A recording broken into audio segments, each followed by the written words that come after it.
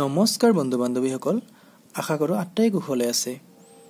বহুদিনৰ পৰা আজি বহুদিনৰ পৰা আপোনালোকে গ্ৰেড থ্ৰীৰ আছাম ডাইৰেক্ট ৰিক্ৰুটমেণ্টৰ গ্ৰেড থ্ৰী ৰিজাল্টৰ কাৰণে অপেক্ষা কৰি আছে। গ্ৰেড থ্ৰীৰ পৰীক্ষা হোৱাৰ আজি প্ৰায় ডেৰ মাহমান সময় উকলি গ'ল। আৰু এই ডেৰ মাহে আপোনালোকে ৰিজাল্টৰ কাৰণে অপেক্ষা কৰি আছে কেতিয়া ডেট দিব কেতিয়া ডেট দিব। অৱশেষত আপোনালোকৰ সকলো অপেক্ষাৰ অন্ত পেলাই গ্ৰেড থ্ৰীৰ ৰিজাল্টৰ অফিচিয়েল ডেট আহি গ'ল।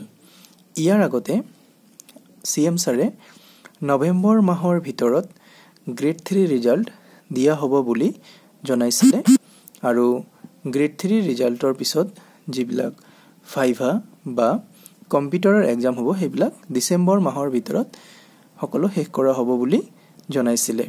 কিন্তু চি এম ছাৰে আজি টুইটযোগে জনালে যে নৱেম্বৰ মাহৰ ছয় তাৰিখে অৰ্থাৎ অহা দেওবাৰে গ্ৰেড থ্ৰীৰ আছাম ডাইৰেক্ট ৰিক্ৰুটমেণ্টৰ গ্ৰেড থ্ৰীৰ অফিচিয়েলি ৰিজাল্ট ঘোষণা কৰা হ'ব। গতিকে বন্ধুসকল আশা কৰোঁ আপোনালোকলৈ গ্ৰেড থ্ৰীৰ ৰিজাল্টৰ দিনা সিদিনা ছয় তাৰিখে ছয় নৱেম্বৰ তাৰিখে এটা ভাল খবৰ আহিব। ঠিক আছে? ভিডিঅ'টো সকলোৱে ভালদৰে শেষলৈ চোৱাৰ কাৰণে সকলোলৈ অশেষ ধন্যবাদ থাকিল। থেংক ইউ পাৰিলে মোৰ চেনেলৰ ভিডিঅ'বোৰ চেনেলটো ছাবস্ক্ৰাইব কৰিব আৰু ভিডিঅ'বোৰ শ্বেয়াৰ কৰিব লগৰ বন্ধু বান্ধৱীৰ লগত। Thank you.